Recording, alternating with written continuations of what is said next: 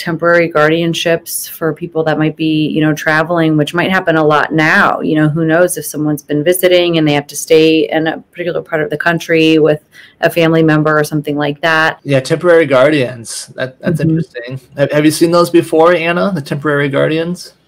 We've talked about them a little bit. I haven't personally had to do one. Uh, that's something I copied from California. So I'm a California attorney, Arizona, and Nevada.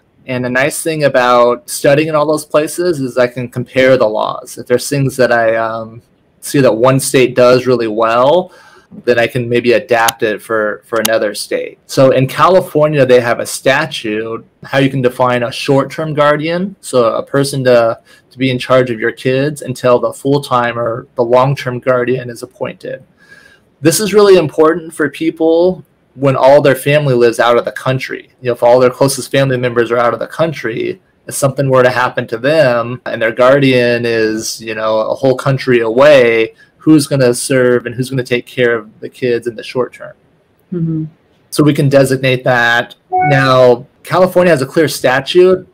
I, I looked for this in Arizona. They don't have a clear way to do it.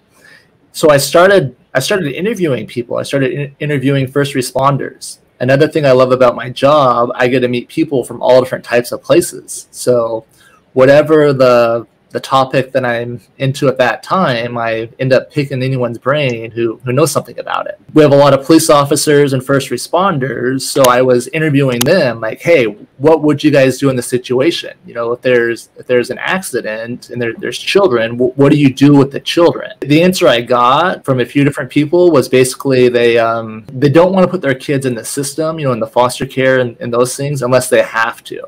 So if there's something that's giving them guidance on where to place the kids without getting sued, basically, is what it comes down to. So if we have a legal document that shows what mm-hmm. those person's wishes are, it said that they would enforce that. So yeah, that's it's neat. It's so something definitely to think about when you have people that you know, family members, especially both of my husband's family and my family, we have family members in different countries. And it's good to know that if you have things like that in place, you know that they'll be honored that until the person that can be put in place permanently is available you know that you can yeah the other thing that people might be considering right now is if they're traveling or if they're sending their kids to travel with someone else is you can do a short-term power of attorney uh, meaning that you give someone the temporary rights. I guess that'd be more of a temporary power of attorney for right. parental rights mm-hmm. which Arizona does have a statute that says